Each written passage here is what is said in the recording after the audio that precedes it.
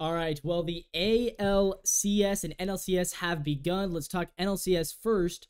Dodgers winning game one 9 0 over the New York Mets.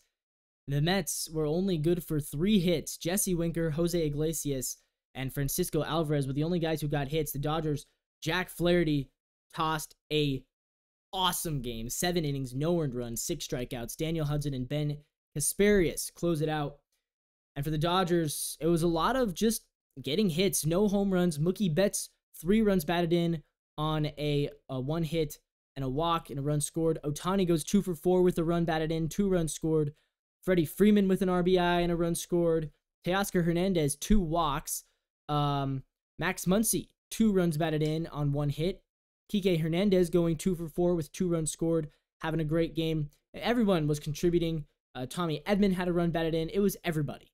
The Mets with Kodai Senga, it, it's a gamble. I'll say this, man. It was a gamble. It's always was a gamble for the Mets to bring Senga into the playoff rotation after literally starting one game in the regular season.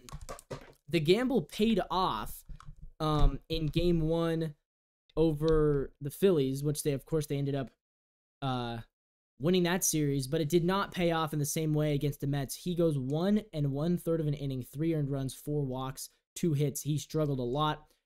David Peterson allows two earned runs. Jose Butto allows two earned runs. It was a bad first game for the New York Mets.